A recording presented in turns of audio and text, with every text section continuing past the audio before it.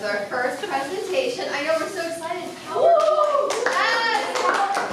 PowerPoint. So, y'all have all, you've been in Area 2 a while. The, the real question is, do you know everything there is to know about Area 2? The answer is no, because I don't even know everything there is to know. I tried. I tried to put together this lovely comprehensive guide to the Southern Region Area 2. It's trademarked, so you can't have it, mine. But we're gonna go through a couple of the things you do need to know. So who are we? We've got a couple of officers who've introduced ourselves, but we'll go ahead and formalize it. I'm the Area 2 Venture President, Amy Herman. It's awkward. Go with your introduction. Hi, I'm the Vice President of Communications. That's Jessica, and Vice President of Program for the area planning. And then Casey's not here right now. He's our VP of admin for the area. And then um, our VP of council support at the moment is Megan Richards. So that's who we are.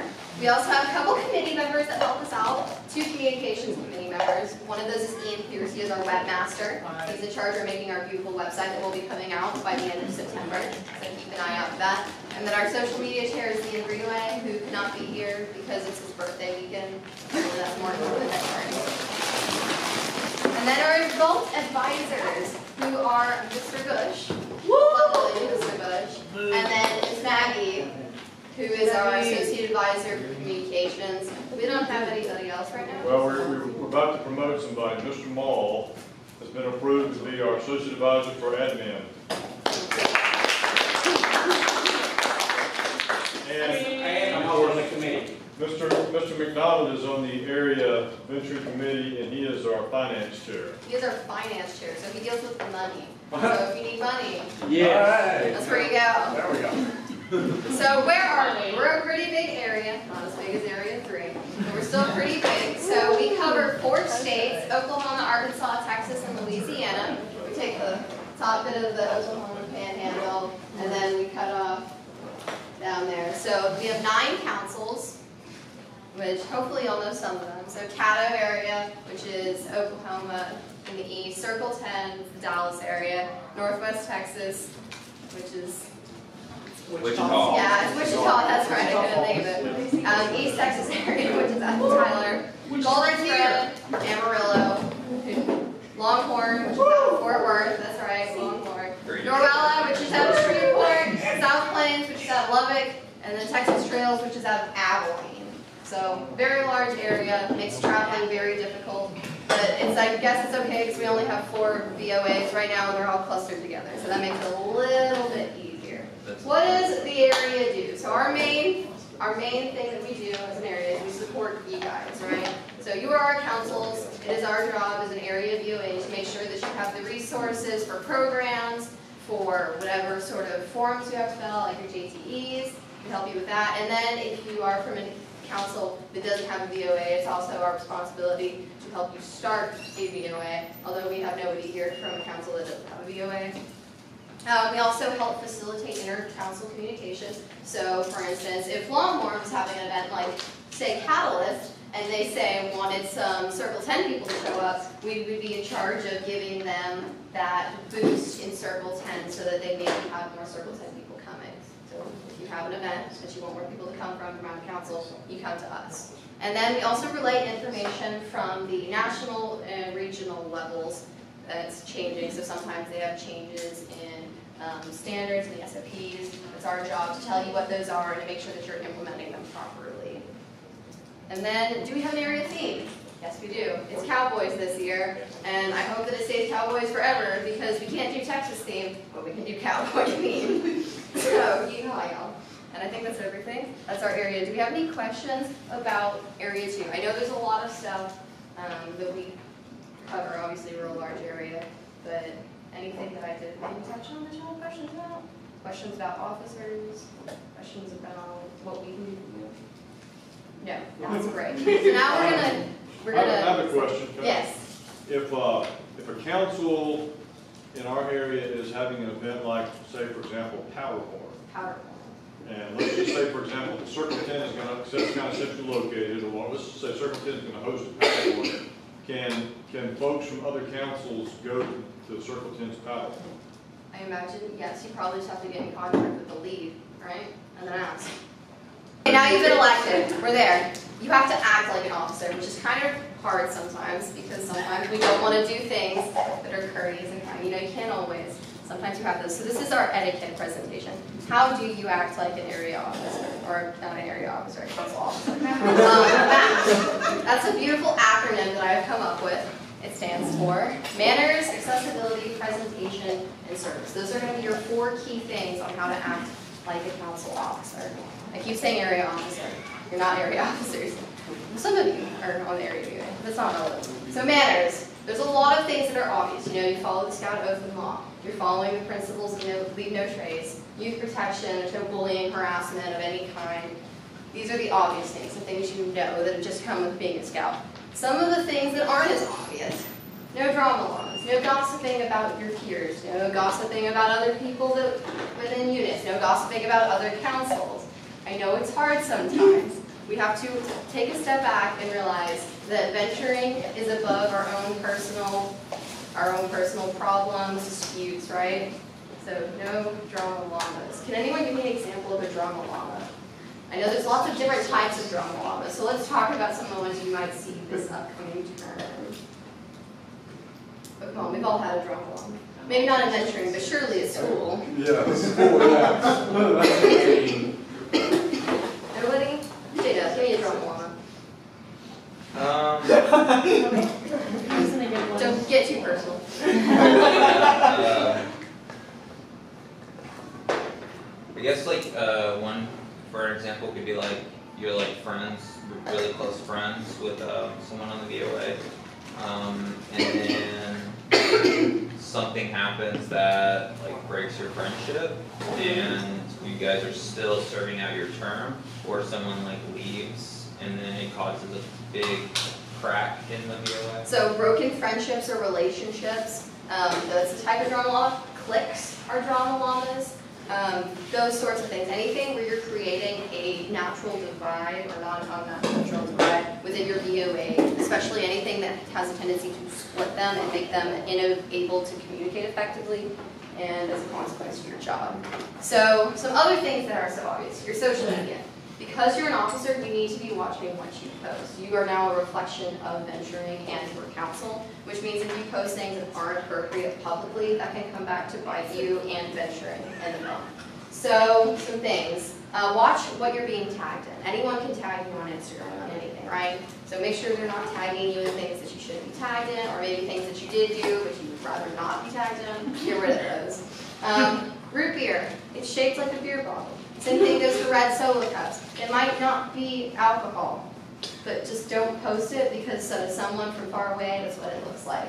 Um, and then political views or religious views that uh, we don't post them on your Instagram, Facebook, whatever. Just try and keep it clean. It avoids controversy because while those things might not necessarily be wrong, it could sometimes stir up unneeded drama. So any questions about social media? All right. So the fun one. It inevitably happens. People date within the VOA. You're working with people that you see a lot and who have a lot of similar passions. So inevitably you will come across a relationship either in your venturing or VOA life. But we do have expectations for dating. So you are allowed to date. There's nothing we can do to stop you, right? So you can, but we're going to go ahead and stipulate some things. So obviously you can't PDA at venturing events. You can't PDA um, at any scouting event. You're also not allowed to PDA on your public social media. It's kind of the same idea that um, if you post you with a red solo cup, that gives a bad impression.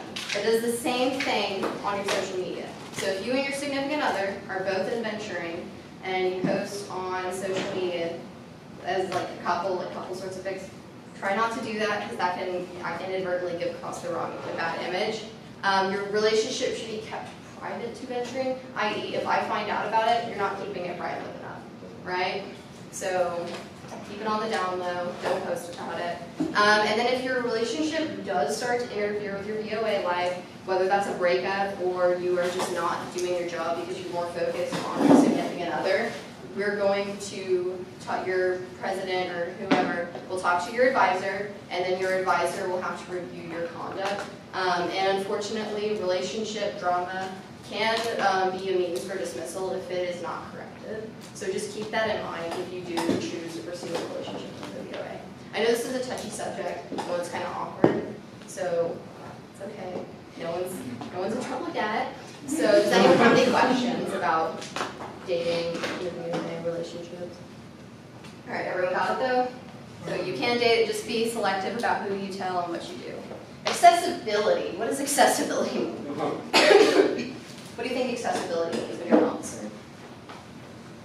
Yes, please talk. There when you need, need to be there. There when you need to be there, all Trump says right. them. Who? Trump Uh, Be available if someone's trying to contact you, Being available so much. putting your, base- some kind of contact information out there so people can actually get in touch with you. All right, all right, that's great. This is actually some of the stuff we're gonna talk about. Response policy. You do have a response policy. You're expected to respond to all forms of communication with you related to your VOA work within 48 hours of receiving out. That does not mean you have to complete the task. So if I emailed Ian and I was like, Ian, I need the website set up. That's a, that's a month task, you know, that's not something he can get in a night. I don't expect him to finish that in 48 hours. What I do expect is that he will email me back, group me back within 48 hours and be like, okay, I'm working on it, here's what I expect to be done, right? So you don't, don't think that means you have to be done with the task, because that can be really daunting. No, you just have to acknowledge that you are working on the task and explain what you will be working on. Um, carbon copying, oh, it's a group, me, sorry, it's bolded for a reason. GroupMe, when you guys get messaged on GroupMe or a lot of other platforms, it doesn't notify us that you've received a message, right? So if I were to send a chat and then no one responds to it, I have no way of knowing if y'all got it because it doesn't tell me that you've read it. Which means you need to be responding, even if it's just like a blanket statement for everyone. Be like, okay, I got it, sounds good. Or you can like the comment, just something that knows that I, that you've seen that message, so that I'm not worrying, like, are they checking their GroupMe? Does Samantha know that she has something to do? Does Ian know he has something to do? Just do that so that you, your officers are aware, your advisors are aware. Carbon copying. When you are emailing for venturing, it is your responsibility to carbon copy your advisors or your president if you're your vice president. The reason we do that is a security reason and an accountability reason.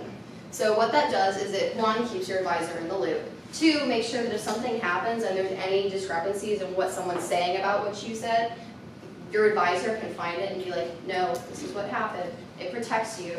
So you definitely want to carbon copy your advisors and your presidents on everything. And then three, it also makes it way easier for the following term to find information about what you were doing so that it doesn't get lost in the void of emails. Everyone does know how to carbon copy, right? I know that's something, okay, so if you don't know how to carbon copy, your email line, you've got a to, was from to CC BCC. So carbon copy, you put in an email there, it's the third line down, and then it's gonna send them a copy of whatever it was. You just need to make sure you're doing that, because it really makes your advisor's life easier. Presentation. Presentation has to do with a lot. It can starts with your uniform. So there's a lot of don'ts about uniforming, right? Your uniform is a physical manifestation, manifestation of venturing. So you need to make sure that it's correct. As a council officer, you can't have your unit numbers or unit JTEs on there. So unit numbers, unit JTEs, Wait, as a council? yeah. That was one of the, right, Ella? Mm-hmm. No? Uh, council, y'all are allowed to still have unit numbers. I thought it was, the- is it the president's Area. limit? Starting at area, you need to remove council, or I mean, um, Okay, then y'all can unit keep numbers. But try to avoid like fake patches and lots of dailies, especially like stay away from fake patches. So like um, lots lots of fake knots, but you guys can have unit numbers, which is really nice. Uh, what you do have to have, you have to have the World Scouting emblem. You have to have your CSP, which is your council shoulder patch. So that one. Um, you have to have your position patch, which not everyone, the VPs aren't going to have one, but your presidents will. So that'll be this one. your VOA emblem patch, which for y'all is the silver one, and then your appropriate loops, which are this, since if you're a council, it's gonna be silver, from the area it's gold.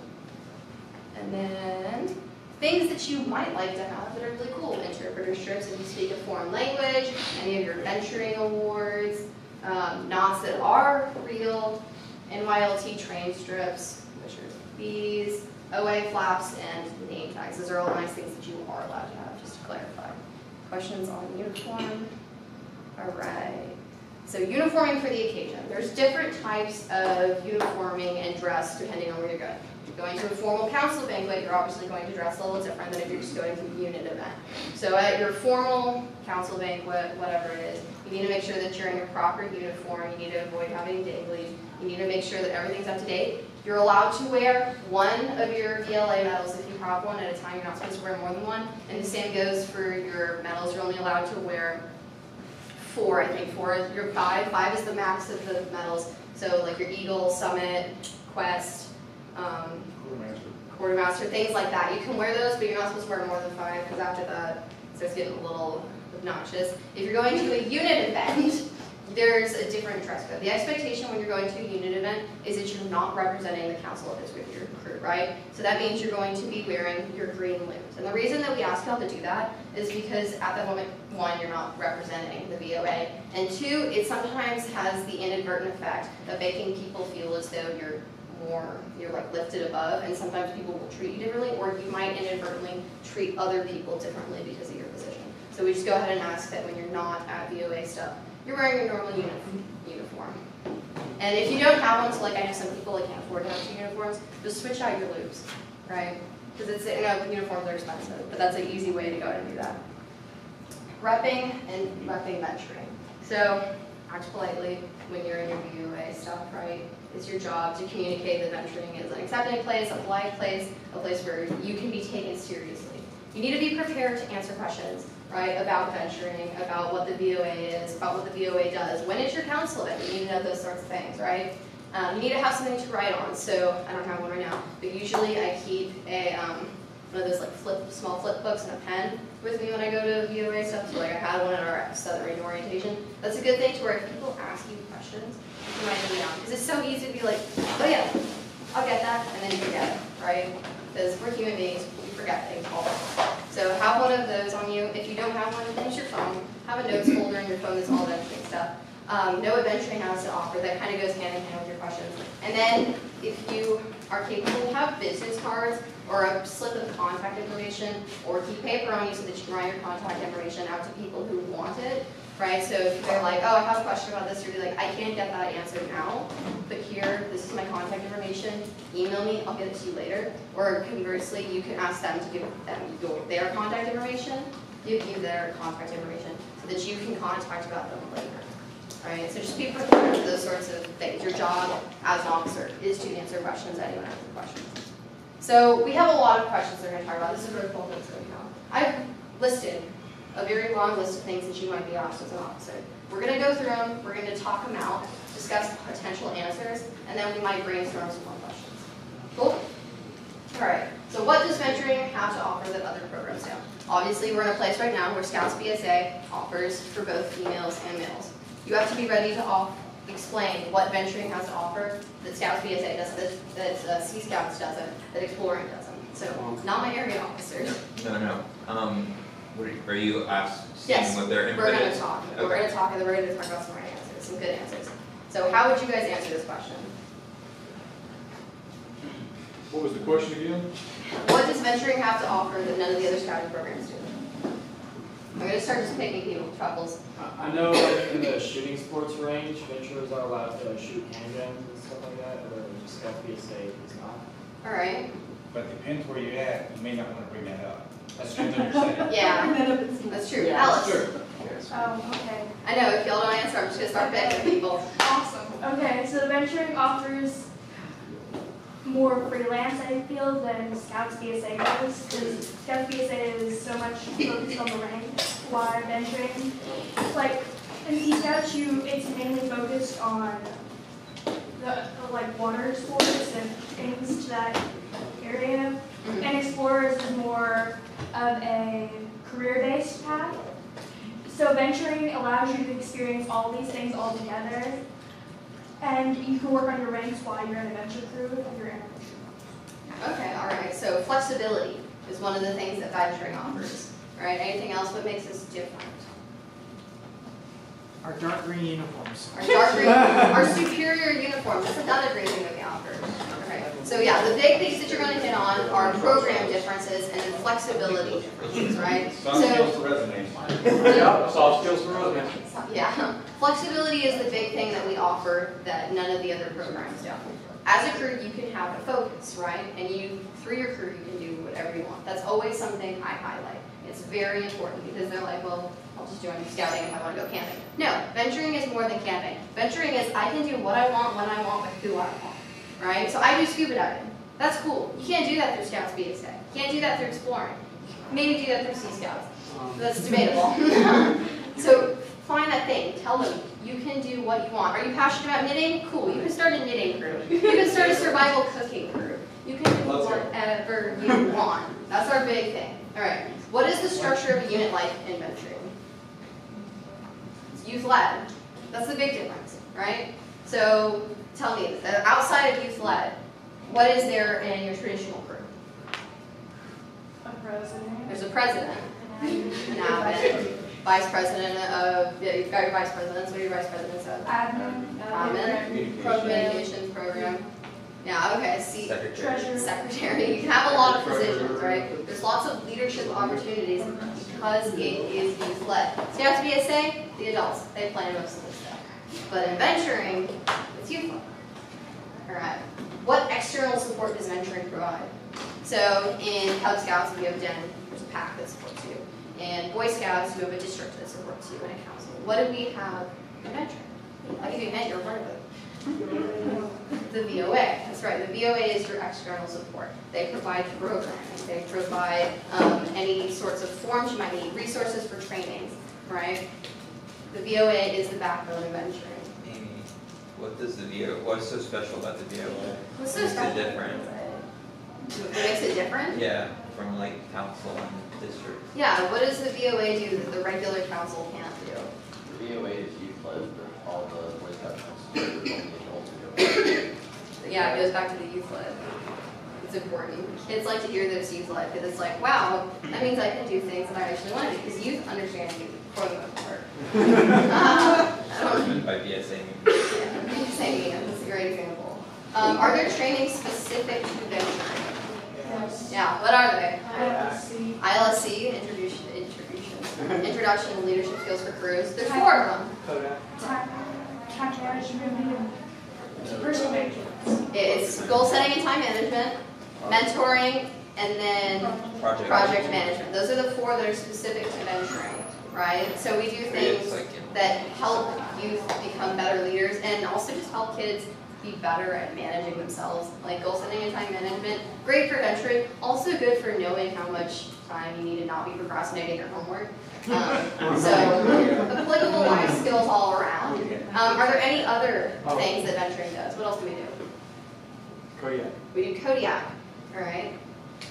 What are things that venturers are eligible to participate in, but maybe not necessarily venture in? Venture Fest. Venture, Venture Fest, that's a program, all right. We're talking about tradings right now, but yeah. NYLT. NYLT, venturers can participate in NYLT, they can participate in NAYLE. Well, NAYLE is based on fruits. Uh, powder horn if you're over eighteen. Fruit. Mm, So now you can do it. Fourteen. Fourteen? They changed it? Yeah. I believe so. Good change. Oops. But if you're, but if you're eighteen in the venture, you can do, Wood badge. Yeah. Yeah, they do wood, so wood badges, a lot of them have a venturing crew that's on staff. That's one of the cool things that only venturers get to And do. And you can participate in wood badge if you're with the age of eighteen. Yeah. All right, so venturers have a lot of opportunities, and because venturers can be over eighteen, they get a lot of the adult opportunities. Um, does it cost money to be in both venturing and Scouts BSA? an extra dollar. So it costs money for your first registration, but once you're in, if you're already in the Scouts BSA, if you're already in Sea Scouts, applying to be in venturing costs no additional money. Right? That's something important. A lot of people are like, I don't want to pay the fee twice. You don't have to pay the fee twice. You pay it once, and it's for everything. It's an all-access pass, right? So everything Scouting has to offer. Um, are awards the center of venturing as a program? No, they aren't. But does that mean that the awards aren't important? Okay, so let's go to, this is a great debate. I love hearing this because there's some people that think awards aren't at all important to venturing, and there's some people that think they're super important. Can we get some like, let's get some debate going. What are some of the reasons that awards are important to venturing, and why might you sell them? They look cool on you. They look cool on your uniform, They're, they're is very great for, superficial. they're great for uh, resumes and other things like that. They're great for resumes. You can get that on your resume. It's just as cool as an eagle, except it's venturing, so it's green, and that's cooler. Summit. Summit, That yeah. One, uh, Working on their summer. Who's working on their summit? We got three people, okay. So, awards, they look cool in your uniform, they look good on resumes. They're also just fun to get, and you get a sense of accomplishment. Why might it be okay to tell people that awards are not the focus of venturing? Because you don't have to focus. You can choose what you want to do, sometime, Alice. Because um, the awards aren't like, because when you're explaining it, some people think that like they don't want to have like a super structured program like Yeah, they think, they think back, they get the PTSD back to their Eagle days, and they're like, no, never again, right? So sometimes being like, no, awards aren't the focus of venturing, can pull people in that wouldn't have otherwise been in it, right? Any other input on that yet? Can I just say from an advisor perspective, the awards, if you do the program right, and your units are done well, you can get recognition for the awards just by participating in the units. And a lot of people don't realize how much towards the awards they've done, and they're like, oh, Yeah. I'm halfway there. Yeah. I can actually do that, I just have to do a couple of presentations or whatever. It's also nice to note that even if they're a little scared or like hesitant to start working on awards, the venturing awards are like, it's not like getting your eagle, right? It's not like there's so many requirements and it's boom, boom, boom. A lot of the requirements, it's like a mini project that you can decide for yourself. It's not like tie X, Y, Z knots. Yeah, you don't even know It's what you're doing. make a project to recruit for your crew. Okay, there's a lot of things you can do to help recruitment in your crew. It doesn't necessarily have to be not time. So there's a lot of flexibility in awards that makes them more fun than others. And sometimes you don't even know you're earning them. Um, let's go ahead and go through, just make sure everyone knows what all the awards are. Oh, Ada has a question. Uh, So, um, what if, uh, you do stuff with your crew, but like you're also putting a lot of work into the VOA as well? What if you're putting a lot of work into the VOA? So you can talk with your advisor, and the cool thing about it is sometimes the VOA events you work on can count to your awards that you get. You just have to check with your advisor. Well, my advisor will not let me, because he's not cool, but it's okay.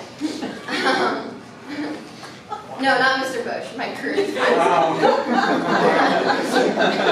Mr. Bush would let me use my VOA. My, my crew advisor won't. He's like, you like it too much, so it doesn't count. wow. wow. That's not a caveat. Um, Oh, we like venturing a lot, we respect. Won't venturing crews just steal scouts from troops? No. This is a real one. This is a real, it's a, this is a real one that people will ask you, especially if they're scoutmasters. So sometimes, yes, don't tell them that. That's the bad answer. The answer is always no, they don't steal. If anything, what they do is they keep older scouts that would otherwise leave scouting in scouting, right? So you know, you know that kid, the kid he eagled at 15. All the kids in his troop are between the ages of 12 and 13. And he's like, nah, I'm not about to be here with a bunch of 13 year olds. I'm a cool 15 year old now, and I'm gonna yeet on out. No, venturing stops that. And that's great, right? Because venturing gives them somewhere where they can be with their peers and they can do things they want. They don't have to go to troop campouts and be like, cool, I'm babysitting. They're going somewhere. Sorry. No, she's. It's a, that's one of the great things. It helps keep that older youth, those you know, like 15 to 17 year olds that otherwise wouldn't have a reason to stay in scouting. And if they're staying involved in venturing, that means they're more likely to participate in troop things because they're still signed up anyway, right? That's the play. That's always the sell on how scouting, venturing is not stealing from Scouts BSA. Um, how can venturing be a return on investment? So a return on investment is how do we make money? How does venturing make money? What can venturers do to make money so that they're not a negative net balance? Spaghetti dinner. A spaghetti dinner? Yeah. Jada, would you care to elaborate on how spaghetti dinner makes money? So your crew can make a big pot of spaghetti, right? and you invite people to come and pay like five or ten dollars, and you guys provide like maybe a show or something else with the meal, kind of have like um, a kind of a fundraiser kind of thing going So, on. so your own little fundraiser. Yeah. Yeah, so you can do fundraisers. My crew does car washes. We do tons of car washes. We also sell firewood. We don't do campfires because those don't work. Um, but we do lots of car washes and lots of firewood. You can do spaghetti fundraiser. Um, I think that IHOP does, IHOP is like a pancake thing that you can do where if you buy so many pan, like you get enough people to buy pancakes, they'll finance something. Um, there's lots of little options. Get a rich advisor. You get a rich advisor. That's not a viable option. Um, what are some, what are some of the fundraisers y'all do? There's, there's also one, um, gun show. You You have a gun show in Texas or whatever. I uh, pretty much help vendors take down, set up. Uh, or, and usually if you do it for a year, they'll give you a booth for free and you can sell, uh, items there. My crew also did concessions at SMU, would go work a concession booth on the football game night, so they make money doing that. Um, anybody else? You can teach training, so if you teach like the ILSC, you can charge a small fee and then make a little bit of a profit off that. Crew's works with a local rodeo, Rotary Club, and uh, they do some kind of service project, and then that Rotary Club, they provide some kind of donation to the crew as well, uh, you know, a few hundred dollars. All right, see, there's lots of, there's lots of ways for venturers to make money. So when people are like venturing is just, an it's a black void in which all money goes. You say no, not true. Here's how mentors can make money. And then you list any of the things we just said. Those are all great ways to be like, no, crews can finance themselves. We come up with our own funding. Um, what are the rules about eagling and crew? You will meet a lot of people, usually they're on the older side, they're still finishing their eagle.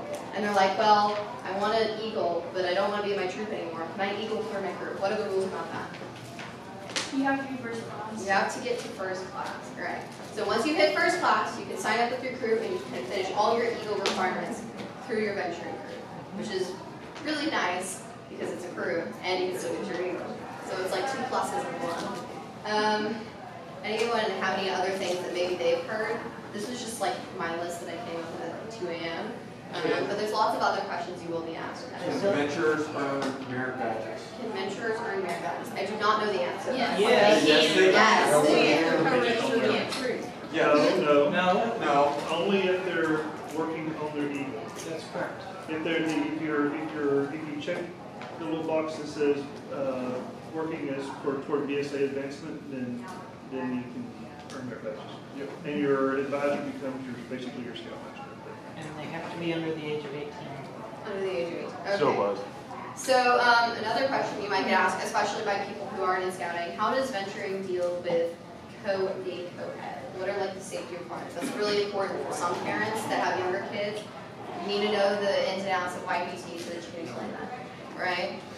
I can't think of any other question right now. what did we do last? Why are our shirts green? Um, because green's superior. I don't, there's no, I don't know how to answer that one. Can you answer that one for you? The reason they're green is because venturing uh, was started out of the outdoor program and exploring back in the nineties.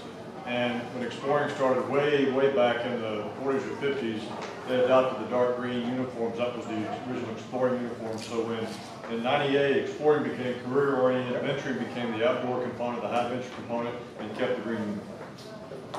That's it. Okay, here's another one. So what sort of programs does venturing offer? So we talked about Venturing Fest. We offer a lot. We offer rendezvous here in Area Two. The gathering here in Circle Ten. Um, Catalyst. Catalyst, what, what, what counts as Catalyst? Longhorn. ETAC, what do y'all do? Hook 'em. And one else. Rock climbing extravaganza, ETAC. Norwela. Venture forward. Venture Forth, right? Know your events, right? So if people are like, well, when can I go do something? Have the date in the back of your mind. October 4th through 6th is Longhorn Catalyst. Know those things. March 20th through 22nd is Area 2 Rendezvous. Know the dates. That'll be so helpful September twenty-first, the gathering, Cody's Hill, Yeah, we'll come back. Service. Okay, so you've seen the hierarchy pyramids where it's like the king at the top and the peasants at the bottom. And venturing, we do the opposite of that. So the kings, they're at the bottom. They serve. That's Ella. That's Ella. She's at the bottom. Pity He's at the very bottom. And then this is the national office is right there. Um, and then this is the area, and then that's y'all. But that just means y'all are still lower down because your primary focus is serving and venturers, right? This is your loops. Those don't mean anything. What it means is you're here to serve, right? You're here to help other people have a better venturing experience. Am I about to get cattle? I, I would put up the cover. It's to help other people have a good time and to help other people look pretty. Okay? It is all fine. Loops are not a status symbol. Um, Um, they're the reason you serve. So quote Mr. Bush, golden blues are a golden reason to serve. Y'all don't have gold blues, so you'll have a silver reason to serve. But it's still a gold reason. So Silver for real, guys. You're here, you're here. You read? I'm sorry, no, I can't. But for real, guys, you're here to serve other people. I know that sometimes, like, you're like, oh, I'm president, I'm vice president, I'm so cool. And I get it, it's a natural human response to power. Just try and, like, remember that you're here because you love venturing, and you're here because you love helping other people love venturing. That's why you're here. Right? Hopefully that's why you're here. And then elevator pitches, but we have lunch, so we'll Yeah, do. step down uh, and- All right, we're good? All right, so we talked prior to lunch about a lot of the things that go into an elevator pitch. We talked about questions you might need to address. We talked about um, proper conduct and what you're expected to behave as. We're going to discuss a couple more things before we go into some elevator pitches, and then we'll do some wonderful examples. Um, obviously, every time you meet someone, you need to shake their hand. You know, your your standard operating procedure for when you meet people. You shake your hand when you leave. You need to formally introduce yourself. Just reminders about those sorts of things that sometimes might elude you when you're on the spot and you get nervous. Um, remember to give your contact information to them if you leave when you're talking to somebody about mentoring so that they can get back to you. And hopefully, if they have contact information, you want to get that from them so that you can contact them. You always want to have their contact information if possible because the likelihood that you'll remember to message them is much higher than that they'll remember to message you. All right? So in an elevator pitch, what we're going to do is we're going to get a lovely somebody to come up and they're going to pretend to be someone that you might encounter in your day-to-day life as a VOA officer. And what that might be, it could be a scoutmaster who's frustrated with venturers for stealing their scouts. It could be a confused council executive that doesn't understand what venturing does or how to start crews. It could be a parent of a Boy Scout who's like, why should I let my kid in venturing? There's lots of different options. And that person is going to come up and they're going to have their role, they're going to be role playing. And then you're going to walk up and approach them, and it's your job to figure out who they are, what they want, and then to answer them in the most professional way possible so that you can best sell venturing. Any questions about how we're going to do that? All right, it's just a big role playing game. So, I'm trying to think. Should we do a mock example? What do y'all think? Yeah. No, just like throw 'em in, throw 'em in. Wow, Ella, Ella's really. Ella, do you want to do the role playing part, the first one? Yeah. Yeah. all right. Here. So, uh, who wants to go first? You. Me? No, we're throwing y'all in. Ella said that we don't need to do a mock one. Nope. No, we're not doing a mock one. Y'all are just getting thrown in. Truffles, you are the most. okay, so Truffles, go ahead and go outside while we figure out what Ella's going to be. It was so much fun. Let's make her answer Someone last year. All right. So, what do you think? Let's start off with an easier one because they haven't seen it. What are you feeling? I think like council executives will be really easy. That doesn't know like what mentoring is and needs guidance on this. Not the English one. Doesn't that. have I would the say one parent. that. Because the DE is really, like doesn't know. DE needs someone who I would say a parent that, Yeah, let's do You want to do a parent that's kind of like. yeah, because that's one of I those things that. that they don't really know. Wait, and we they need your always child. question. You're gonna be her child. My kid. Yeah. She's taller Yeah, than you you, so it Doesn't have to be a. Yeah, I My don't. little girl. Okay, I'm a parent. Okay, Um, I can be Yeah. here if you need me. All right. She has a reason to be a child. Damn it, I'm dying. Hi, camera. I'm just gonna walk in front of the camera. Don't die. Hello. camera. I'm good against health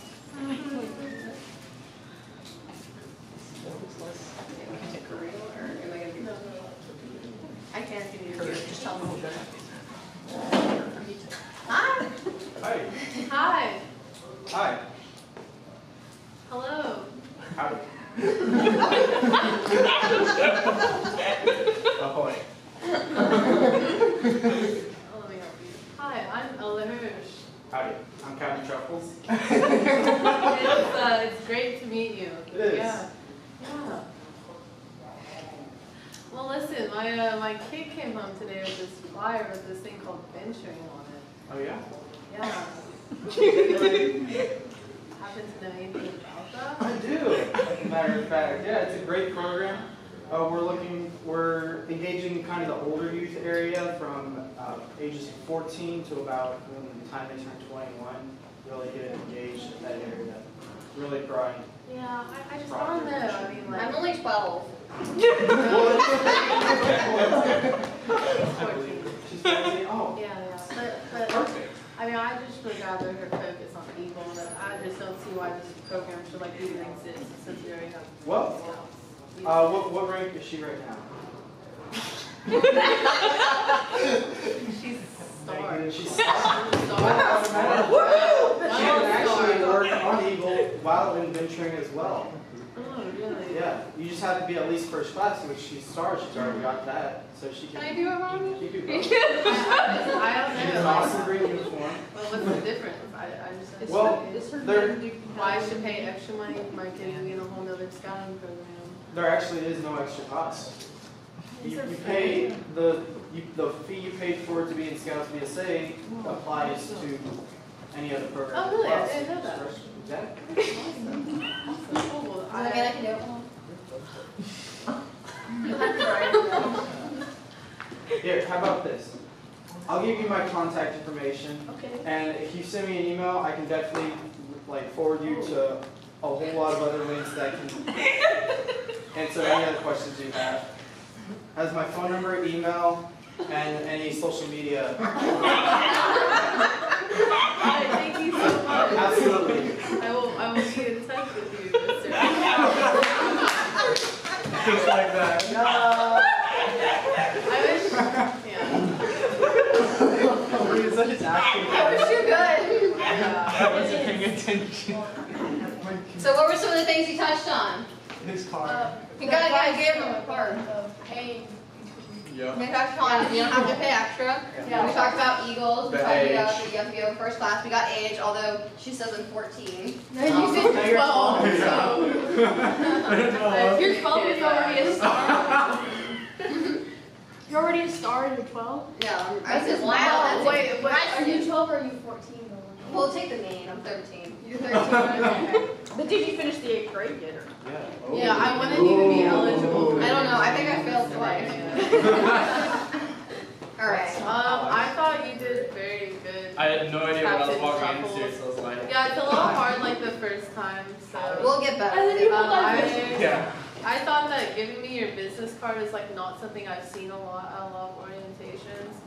I was that's uh, surprised. something we're always trying to promote people Yeah. to do is giving people like a way to communicate with them. It cost me after like maybe you leave seven that bucks to buy person. two hundred and fifty of those. Yeah, It's like so. a real business card. I don't even know what it is. uh, You should probably get some. It's With an kinda, official case. Yeah, when I saw the case, I was like, I, wow. I was like, I was surprised you were pulling it out. I was like, what is he pulling out? Like a little small piece of paper keep or something? Is that special? You can keep it, I got too Um, many. Alright. Oh, wait, Oh my okay. God. Hey, while I'm up here, I did put my business card in all of y'all's folders, so it has my personal cell phone and all my contacts if you do need to ever talk to me. Anytime you just call me. so. I think all of us carry That's all I have. business cards. Yeah. Mind you, the, only the Facebook thing works. Wow. Alright, who wants to go next? The girl with the red ear. Oh, Alice, okay. And she wants to go. Oh, Hannah? Because They're gonna tax you. Well, we need an- another adult. I can do it. I wanna do one. We can go together. You need an adult? She'd be a whiny old lady. No, I've already got mine. I know what I'm doing. Do you want me to go outside? I'm not a dog. Yeah. Try to do them next. I'm, I'm gonna do this one and then Mr. Bush can do one. I know which one I want Mr. Bush to do. Oh. Alright. Bye. Come and get. Okay, so I'm gonna do a, a mom that's like, or a, a, I'm probably gonna do like a troop, like, um, scoutmaster. And what they're gonna want is they're gonna be like, I have a troop. How do I start a crew? where do I get resources? What do I what do I need to do? Right? That's what I want to do. Because that's when you're going to see a lot. It's like, oh, I'm in a group, and I kind of like the idea of mentoring, but I don't know where to start. Like, I don't know how to start a group. That's when you'll see a lot. Any any objection? No. All right. Alan. She heard that. Can you hear me? No, I didn't hear you. Yeah, you can oh. hear anything. Okay. Hi. Hi. My name's Alice. Hi, Alice. I'm Amy. Nice um, to meet you. I'm a scoutmaster with Troop 666. Oh, um, that's on video. um, I have you a, kid. you're with the area or the council, right? The council. You're with the council, okay. So I have a troop, and I've got like four kids, and a couple of them within the troop, including my kids, they like like venturing, and we want to start a crew because there's no crew in our area. Yes. And I don't know how to do that. Like, what do I need to do? So what you're gonna do is you're gonna get in touch with me and um, VOA president. We can help you with char- chartering crew and help to guide you through that. Can I give you my number? Yeah. I, just a couple. Oh, thank you. This is right up my card. I'm, thank you. It's good to meet you, Alice. Nice Thanks to so meet much. too. All right, so she hit on, she made sure to give me her contact info. Give contact info, it's a big one, right? Um, she also said, yeah, it was a charter. Um, you should have definitely touched more on like sponsoring, like who can be a sponsor, what does it mean to be a sponsor? She's probably like that mom in that instance is probably familiar with sponsors because she's from the troop. But there's always usually gonna be questions like, can I sponsor my crew with the same place that I sponsor my troop? Things like that, right? Pretty much That might have been a question. So like go more in depth on charters, because usually, you know, get in touch with your charter or, Mhm. Getting in, um, you might wanna have, I was hoping to get more opportunities to talk about like, um, like what materials you would need to do a crew, how many people do you need to start a crew? It's five, yes. you need five to start a crew, right? So just things like that, you need to know how many people start a crew, what materials you need, awards, answering questions about. Is that something really that you should expect the youth to be able to answer, or should they redirect you to an adult who's gonna have to do Well, we the should be able to give fundamental answers and then be like, here's somebody you can talk to for more information. Yeah. But you should know like a fundamental outline of what's going on. Okay. Um, just because as a VOA, you do represent venturing, you are expected to know some of those answers. All right, Ellen, you're raising your hand? Yeah, um, let's see, oh, try and talk a little longer, Yeah, uh, that's the only thing that I have, but it was still. yeah, it- what you kinda- did. But like, good. really like to give them more time to get comfortable talking about the subject. Oh, for me? Well, I just mean like in general. Okay. Maybe Just run it a little longer. But Yeah. also, um, are you gonna talk about M and M's?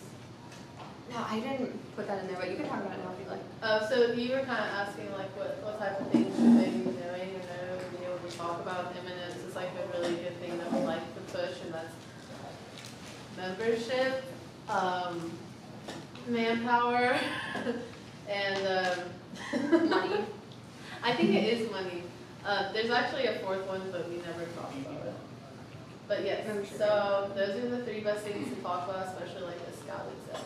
We haven't gotten an example of that yet, but membership, money, and manpower. All right, wants to try and go next? Are we just going down the line? All right, she's gonna start outside. Mr. Bush, Yes. it's your turn. All right, good. What are we gonna do? I'm, I'm gonna go. You want me to be a council exec? Okay, so I'm a council exec and so, uh, one, one like we have in area two. Yeah. And so this is, Hannah's gonna be a venture and I'm gonna talk to her about starting. Okay, She Yeah. know I'm a council. You gotta tell them. Okay, all right. All right. Ready? Wait, wait, wait, wait, Hannah, step back out real quick. He needs a minute to get in character, I'm sorry. Everybody, everybody, uh, hear what we're doing, what I'm doing. Okay, this is like a, this is like a huge treasure, we really have to bring my act- acting side to this, because I cannot act like a council exec, I don't have quite that, uh, that character. Okay, so any questions about, by the way, does everyone know who their council exec is? Their council executive? Who is, uh, who is yours? Yeah, that's Jane. Dwayne Oh, Stevens, wow. that's right, who is yours? That's right. Who is yours? Who? Well, your council executive, Dwayne Stevens. Oh, Dwayne. Who's your council executive? Yeah, he was, he was. Right, Sam Probably does Sam. Thompson. Sam Thompson. What does Greg Taylor do for the council? Okay, here's a, here's a good question. Okay, I'm- we're gonna, we'll get Hannah in here. Come on in, Hannah. Okay. Mr. Bell.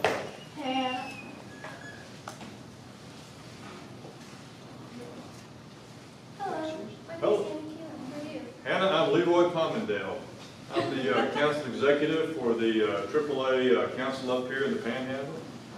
You know, AAA, you've heard of our council before? I'm not sure I have, but I'd love to know more about it sometime. The AAA, we call it AAA Council, it stands for Always Active and Adventurous. Yeah.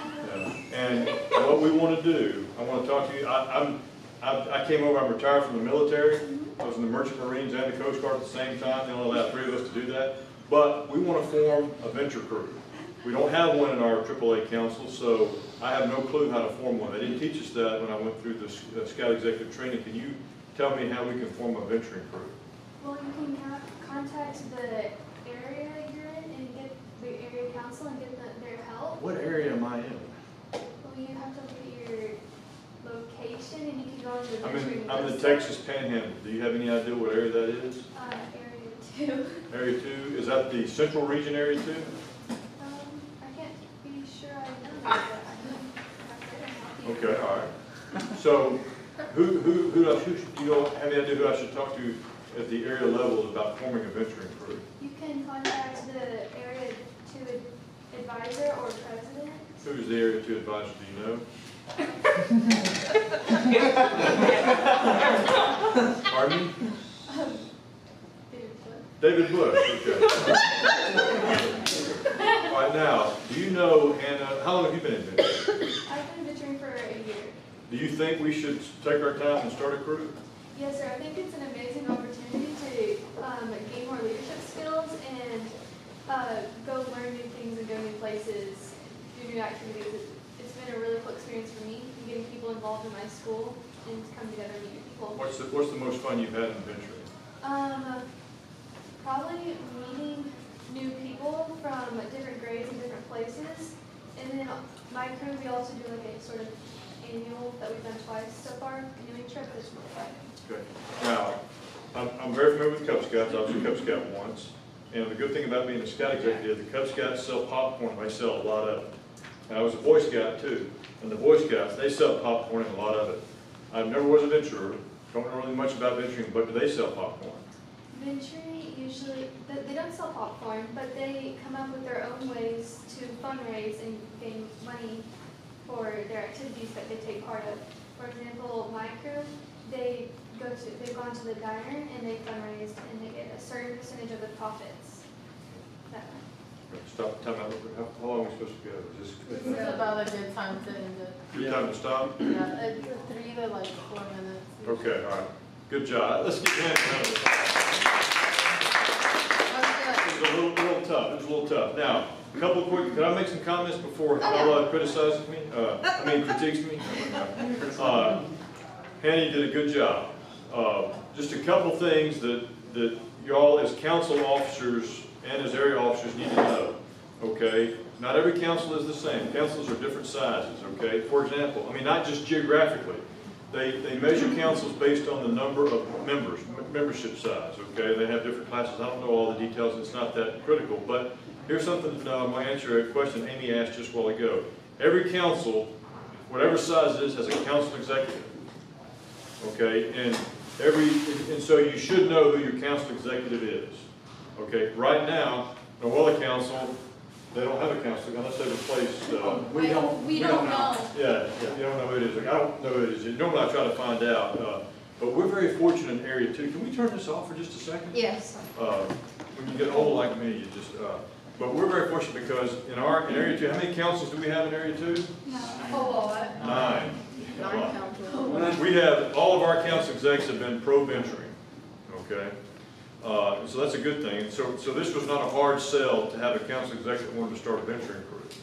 Uh, some councils, especially the larger ones, but even some of the me- medium-sized ones, the council executive, remember his responsibilities or her responsibilities are Cub Scouts, Boy Scouts, venturing, Sea Scouts, exploring, learning for life, fundraising, camp maintenance, uh, taking care of problems, lots of things going on. So you, of all those acti- uh, managing a staff, hiring, uh, you know, taking care of, a- of problems when mama calls because Junior didn't pass his second class board review like she, she thought he, she should have, oh, who was that? Uh, That might have been, oh, they turned the We didn't lights do off. the- Syrian. Okay, that's fine, we can, hey, we can, we can talk in the dark. So the, the, the key thing to remember is, know your council executive, but also find out if your council has, and this is for the area officer especially, is there a venturing staff advisor? A lot of councils have a venturing staff advisor. Circle Ten is an example.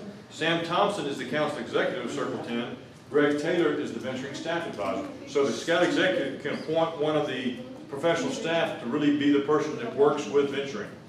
Okay, for a while in, in uh, East Texas Area Council, our staff advisor was, um, tall blonde-headed guy. He, he left, got married, left. I'm drawing a blank. Uh, Went to Tarleton State, I remember that, I can't remember his name. Uh, Longhorn Council, your staff advisor, Jeff Peters? John Coyle is your executive, isn't Jeff Peters your staff advisor? Do you know? Uh, well, our, uh, it's technically Chris Bankus, but Okay. uh, they're like, our staff advisors for different, for like Okay. programs are technically under Jeff Peters. All right, good. So, so that's, that's something to, to remember, and then, uh, like, like Amy said, one of the, one of the, Hannah did right, she said, you know, there's a, there's a lot of little check steps you gotta go through to form a crew. The, the basics though, again, are, you gotta have how many ventures to start a crew? Five, five. Five minimum, okay. Uh, does it have to be all boys, all girls? Does it have to be co-ed? You have to have five, uh, you know, three of one, two of the other, four and one? What's the, what's the, do you have to have, do you have to have mix to, to be a venturing crew? No, you can have an all-girls crew, you can have all guys. You can't, that's exactly right. Good job. Okay, so there may be some of those questions. What, do y'all have a recommendation about whether it should be all girl, all guy, or co-ed? Co-ed, but that's, Our recommendation is probably co-ed. I think the charter board also has a say in that. They do, Yeah. they absolutely do, okay. And so that's another, another point we really need to get into is you, you, you, to, in order, you gotta have kind of the minimum, you gotta have five youth to join. You gotta have at a minimum, you gotta have a crew advisor as the unit leader. You gotta have a crew committee chair. and You gotta have at least, uh, two, com- one committee member. You gotta have three, minimum three adults. I Charter, believe because that's- you have a charter over it. uh, you gotta have, you have a committee too. Yeah, got a committee chair, and a- and uh, you gotta have a committee chair, a committee member, and at least a, a crew advisor. And then you got your, your charter organization rep, and, and again, what's, the- just think to yourself real quick, if you're gonna form a crew, what would be a, a great prospect to, to, for a charter organization rep? Excuse me, a charter organization, uh, uh, usually it's like a, an or, a charter, uh, like a service club, like a Lions Club, or Kiwanis Club, or a church, or a PTA, uh, maybe a union hall, they're gonna be your sponsor. What, what would be, someone who you're trying to recruit to, to, to, to su- su- support, sponsor a crew, where would you go to? Who would you think about? Church. Existing tree. Yeah, a, a charter organization that has an existing troop or pack, but especially troop, okay? So, uh, but you gotta have that, and then, uh, you, you gotta have the approval, and then there's a, there's an application, all that, you don't have to worry about that, your adult advisor, worry about that, but it- it's a good idea to kind of know those, those fundamental basics, as Amy says. Any questions about talking, and don't be afraid of Scout executives, let me tell you something, especially the ones we have here, I wanna, I wanna, and, and about our area, of course, our new area director is coming, he should be here any minute now, his name is Phil Shipley. I don't know if you all know, he is driving from Amarillo, Texas today to come be with y'all. Yeah, that's, that's the kind of commitment we've got. And, and they want to hear from you. What I, if I was a council executive talking to Hannah or any of y'all, I would really want to talk about how to form a, a, a crew. I'd want to just talk to Hannah about why she's in venturing and what all she's done and what all she's learned. Okay, because that's their payback. Uh, and they love hearing those stories. Final point, popcorn. Okay, let's talk about that. Crews can sell, They Crews, can, crews can sell can't popcorn, but they okay. have, uh, they can say no. Here, they don't have to, but, but here's, let me just kind of, again, this is, this is, you're not gonna find this in any manual anywhere. This is just David Bush on how to, how to, how to have a successful venturing program. Uh, understand this, when, in our crew, we do the diner, we do things, uh, car washes, uh, garage sales and all that. When you have one of those kind of fundraising events, by the way, before you have a fundraising event, what must you do? Anybody know? You have to, Deanne, you have to get approval from the council. Cancel the fundraising. You have to get a, you know, fundraising permission slip, so to speak. Why do you think, by the way, one of the things we try to do is not just tell you what the rules are, but explain why we have the, what we have. Why do you think that the Boy Scouts requires a unit before they can have a fundraising event to go to the council and get approval to do it? So we don't do money laundering. Because you're wearing their, you're wearing their insignia, and if you misrepresent them while you're fundraising, That looks kind of like Boy Scouts. It, it is not uncommon, I get calls probably three or four times a year from different councils. Someone's going out door to door, claiming they're a scout group, trying to raise money, and they're not a scout group. Lots of folks try to, try to make money on us because we've got a good, got a good brand, has a lot of value. We, we stand for something very positive, so people try to take advantage of that. So the reason why you have that is, number one, they can make sure it's a, it's a good fundraiser. Sometimes you may have an idea, hey, we want to do this, uh, and you find out it's a pig in a poke, and it's not going to really raise money for you, and the company you're dealing with are scam artists, and your scout executive or your staff advisor will know that. All right, I know I'm getting way off, but I'll just sit down a minute. Amy's going, come on, Mr. Bush, let's get with the program. But the key thing is, back to popcorn, when you, when a unit sells popcorn, the council gets, a- they get some, some of the benefits of that, the return on that, on that effort, part of that goes to the council. So scout executives like their units to sell popcorn because it, it puts a little money in their coffers as well. The, the unit gets some money, the council gets some money. So that's one way to maintain healthy relationships, you know, keep your scout executive happy kind of thing. Every now and then, you sell popcorn, okay? Just an idea. All right, any questions for me? All right, thank you for letting me go over time. Oh, it's no problem.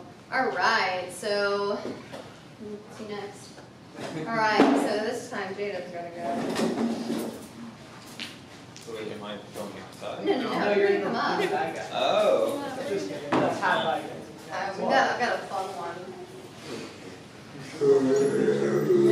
That was a lovely So. Jada, Yeah. you're gonna be the scoutmaster who's venturing or stealing scouts. Angry. Angry bird. Angry bird. Alright, you got it? Don't be too angry. Alright, You have to get in character. You're gonna walk up and I'll turn. Just think about Nicholas on that. Like- you'll get it figured out. Alright, are you ready, Jada? Nicholas was amazing. All right. It was funny.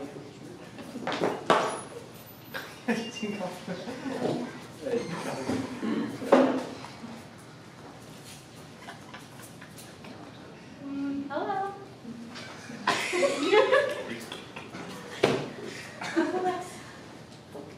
My name's James Orchard. It's nice to meet you. Are you here for one of our troop meetings? Okay, well, I'm the scoutmaster of our troop, six thirty-six, and, uh, we're doing our troop meeting.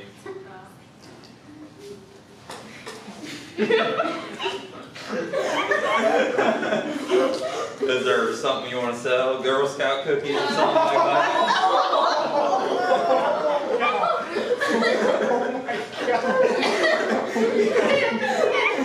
I'm doing character.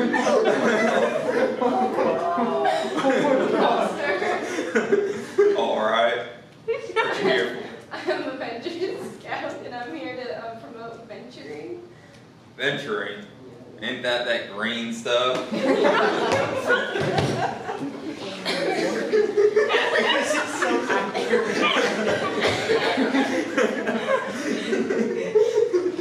we're the ones in the green uniforms. All right. I saw them and I was like, is it a damn alien show or something like that?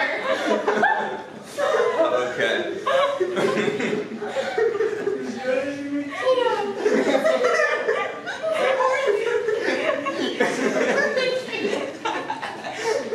Um, all right, all right, that's cool. Is there anything you want to know about venturing? Uh, no, not particular. Uh, I usually keep my troop. I think venturing is not that great for my program because they're gonna take my kids, and I want them to get Eagle. No, sir, we will not take your kids.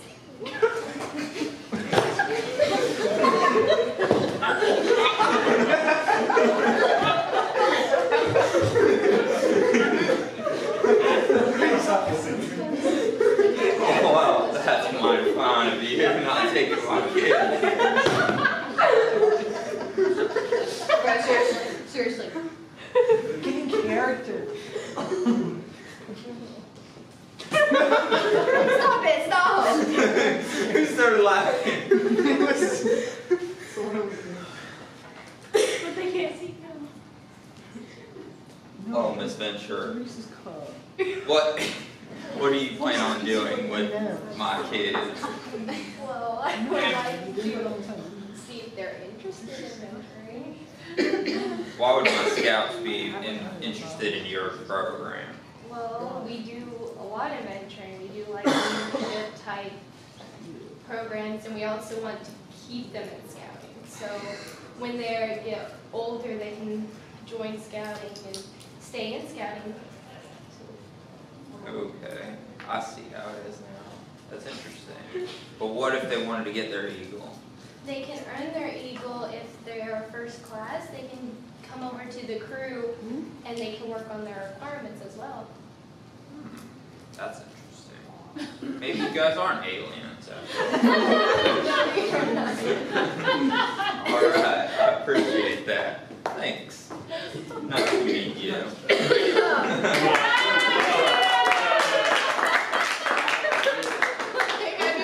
Sit down. You told me to be angry. Don't like that. you were being weird.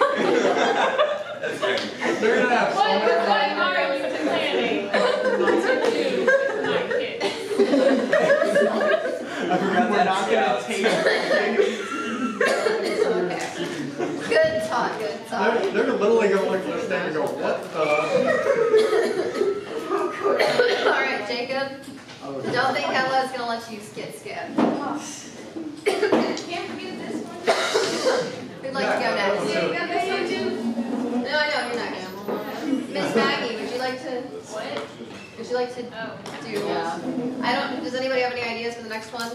Um, Yeah, I've got. Yeah, but. conspiracy theorists. You're, uh, you have someone who, who had a, a brother in, in scouts, and, uh, and they, they're interested maybe in volunteering as a leader, but they don't really know what it's, what it's all about. They don't know what's expected of an adult advisor, I said they don't need an adult advisor. So a future crew advisor. Or, or an associate advisor, just someone who is an adult that says, hey, I might want to get involved in this, tell me about it. What does a career advisor have to do? Yeah. What does it do? Is it just, is it just an hour a week? No. You said for an hour a week. That's hilarious. Sure. Whatever you said. All right.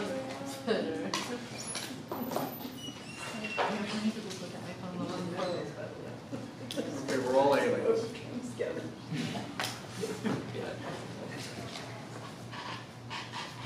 Good afternoon. My name is Jacob Kimbrough. Hi, Jacob. I'm Maggie. Nice to meet you. Good to meet you. So, do you have any questions about Veteran Crew or anything like that? Uh, yeah, I have a couple questions. Um, my brother was in scouting and he did the whole Boy Scout thing, but what's venturing? Tell me about it. Well, venturing is a lot. It's different from scouting. It's less more uh, focused on all the awards and the badges and the Eagles. We do a lot more high adventure stuff. So we'll go whitewater rafting. We'll do rock climbing, zip lining, a whole bunch of fun stuff. There are awards. We don't completely cut those out, but they're less focused on than in Boy Scouts. What's been the best thing for you? Like, why should I give my time, my hour a week? I know um, this summer our crew took a trip. We went whitewater rafting in New Mexico, and it taught us leadership skills, and we had a blast all at the same time. And it's just wonderful. How can, how can I get started? How can I help? Um, if you will talk to your local, like council VOA, they can connect you with the right people in the council that can show you how to charter a crew.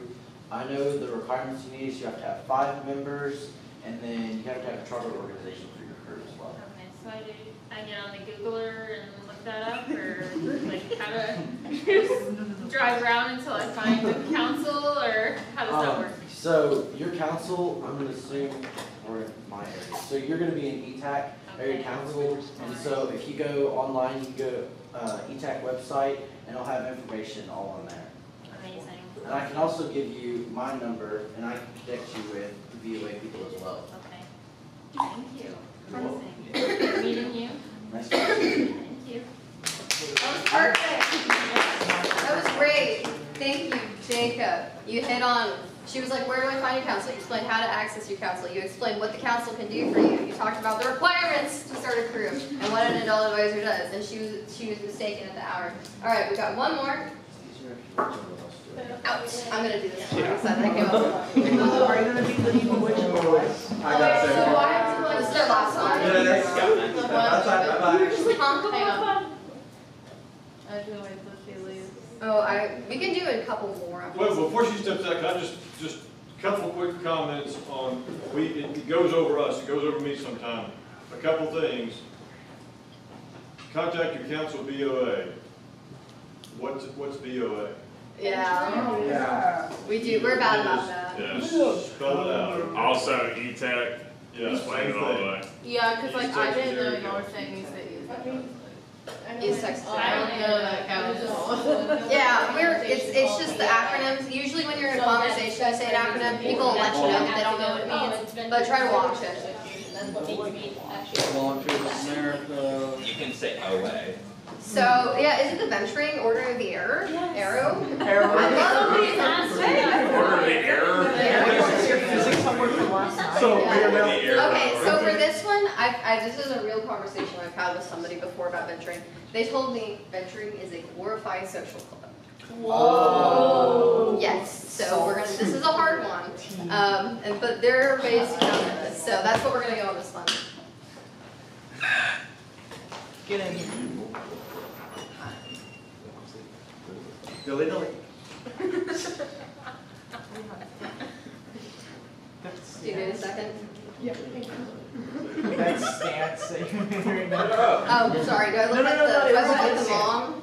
It's the right Yes, stance. We need to get the anti-giggle juice out. Hi. Hi, I'm Amy, are you a venture? Yes, I am. That's real cool. Um, so I have a question. Is venturing just like a social group or something? Like, I was talking to one of like my my friends, and she has a daughter in scouting, and she does venturing, and they always talk about how when they go to meetings, it's just like they go to CC's and stuff and get pizza, and I just like don't understand why would you do this like scouting if it's just social time for your teenagers. So you can have multiple different outlets on venturing. So I know for my crew, we do, uh, we, we have meetings, and in our meetings, we discuss things like camp outs, um, specific trainings that we'd like to do. You can go to places like CC's and have like a fun meeting, um, like for awards and stuff like that. um, venturing, you can have uh, different focuses. Like you can be an outdoor or high adventure based, or you can focus on earning awards or that awards or um, do whatever you want. So, but it's still just like a fun thing. It's not like, so if I send my kid to a troop, I know that they're getting, like, they're eagling, right? So they're learning skills that they'll actually use in real life. But if it's a venturing crew, they're just going out and having fun. Like, what are they learning? So- Are they learning anything? Venturing, you, you there's multiple different things you can learn. You can learn how to be a leader. You learn things like um, time management, project management, goal setting, how to be a mentor to people, and you learn all these uh, leadership skills that can help you throughout your life. Do they do it like they do with the eagle, where they have to do like merit badges? Like, how do they enforce that? So this isn't really enforced. It's more of a hey, you want to do it. It's open. Um, it's not strictly enforced like Boy Scouting and like Mhm. Scouts is. Our equivalent of Eagle is what we call Summit, um, and it takes some time to get to, but it's definitely worth it. Okay, so you do an equivalent of eagle that's optional. Yes. Um, are there any other leadership opportunities? Like I know in Boy Scouts they have the Order of the Arrow, where kids can go do that. Like, Um, Something like well, that, now ventures are allowed in the OA, in the Uh-huh. Order of the Arrow. So you, your crew can hold an election and they can then be in the Order of the Arrow. Um, um, you can have, we have different awards. So we have things like the Discovery Award, mhm. uh, Venturing Award, Pathfinder, Ranger. are those like ranks? Uh, in a way, yes, they're like ranks. Um, the more you do, the higher you go. Uh, so, so again, Summit's your first one, um, and then or your highest. Yeah. Venturing is your lowest, and then Discovery, and then Pathfinder. Okay, okay. So it's it. There are leadership opportunities. There are like Boy Scouts. opportunities, Okay, so I guess I was misinformed. It was good to meet you. Thank you so much. All right. Can I? Yeah, you can sit down. So that was great. She talked about why you're gonna hear this a lot. Venturing is a glorified social. I hear that too often. You have to explain it. No, I mean, yes, you can definitely socialize through it, but there are outdoor opportunities and there are leadership opportunities, just like there are through Scouts BSA. All right, talk about the leadership opportunities. I totally forgot. No, it's okay. Um, one of the things that she could have also brought up that she didn't was the VOA is a leadership opportunity that is presented to venturers. Not everyone chooses to pursue it, but it's definitely an elevated skill range, um, elevated plane in which you can test your leadership skills. So, all right. Does any, do we want to do? Can anyone think of one more that we need to do, or have we pretty much hit all our bases? I think we hit all of them. Let's, let's talk, let me, let me just, I, I got a couple questions for the crew. Yeah. If you don't mind, that- that I get sometimes about venturing, these are, these are just kind of serious stuff here, uh, um, But, of course, one of the, one of the main differences between venturing and Scouts BSA is what? Leadership. That, what else? Co-ed, yes, okay?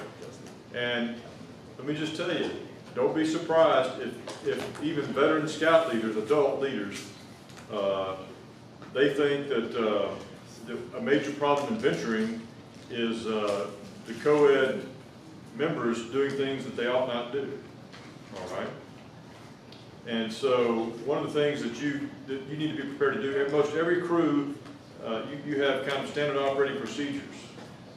For, for example, uh, when, when your crew, uh, J-Dub, when your crew goes camping, your crew Yeah, camp? yeah, they do. Do, do the, uh, do the young ladies and young men share tents? Nope. No. Okay, does anybody in their, in their crew have, have young ladies and young men share tents? No. Sure. By the way, I appreciate the enthusiastic response, hey, that was a good answer. No, brother and sister. No, Uh, Not even no, with brother and no. sister. No, not even with brother and sister. Young men, young women do not share tents, They're not allowed. okay? Fathers and daughters don't. Uh, fathers and daughters don't share tents, okay, in venturing, okay?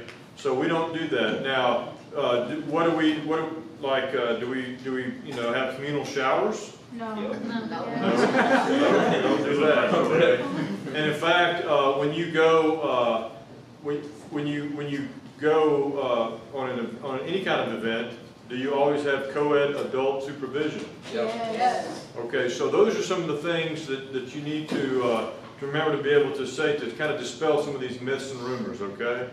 That makes sense, everybody understand, it, we take it for granted because we kind of, we understand what they are, but a lot of the folks out there don't, they need to be educated. So sometimes, especially if you're talking to a parent, uh, or an, or an adult, an old person like me, or a grandparent like me, we have any other grandparents in the room? No, just one, that's me. Uh, And if you want to see pictures of my grandchildren, I have a bunch on my phone, I'm happy to show you, yes, they don't look like me, they're cute. They're on Facebook. And uh, the, the key thing is be ready to explain uh, that these are the protections we have in place, and it's a little bit more detailed than just youth protection. Uh, It's, it's just kind of the way we do it, so none of that stuff goes on. And you can, you know, you can, you can even be almost kind of humorous about it, but try to, try to get them calmed down. You can say, look, Mr. Bush, we appreciate you bringing your granddaughter to look at venturing, and let me just assure you, there's no hanky-panky that goes on with venturing activities, okay? It just doesn't happen. And I know that sounds kind of corny, but when you get to be older, you worry about that kind of thing, all right? What happens if you have, uh, uh, I'll tell you what happens in my crew. If I catch uh, a, a male in a female tent, or I catch a female in a male's tent, what's gonna happen? They're going home, and they may not ever come back, okay? Now, there will be some exceptions, if it's for rendering first aid, but I better be hearing them yelling the whole time, help, help, help, we need help over here, otherwise, we got a major problem, okay? Now, let me just, let me give you a little statistic, okay? I, I worked, Tom and I worked the last two national jamborees at Foxtrot Base Camp, okay? Which is where we had all the ventures, so it was the only co-ed, and we had the internationals there, the only co-ed base camp. Okay, I did, I worked there in 2013 and in 2017. Uh, uh, okay, how many ventures do you think we had to send home because they violated these kind of rules we're talking about? Two. I hope it's Two. Zero. Oh, thank goodness. Yeah. Zero. Now, we did have a little bit of an issue in 2017. Kind of goes back to what Brandon said. This is just a little trivia. Okay, we had uh, two under 21 aged youth, one male, one female, that came as youth ventures, and they didn't want to share a tent. And they felt like they had the right to share the tent. You know why? They were married. They had just gotten married. Okay. Do you think we told them they could share a tent? No. No, no sharing tents. You're a youth, you don't share a tent with a, with someone of the opposite sex. Were they opposite over eighteen? They were over They were eighteen, under twenty, they were under twenty-one. But they went as youth. They went as youth, yeah, you don't share tents. So, little, little, so if someone says, well, how do you know, you can, you can say, look, our area advisor, Mr. Bush, you know, he's, he's tried to, I mean, they just don't, you just don't, they, they've experienced a lot of these little problems, they just, you- we just don't go there. You know, they just, don't have to worry about that, okay? So, so be aware of that as well, all right. That's- So no, getting married won't save you. No. So just because it's legal, doesn't mean you can do it in scouting. That's right, that's exactly, that's a good way to say it, just because it's legal somewhere else doesn't mean you can do it in Scout, Yep. yeah. All right. Good talk, Mr. Bush. So yeah, YPT, y'all. All right, that's it. I have, that's everything I have for elevator. Are we ready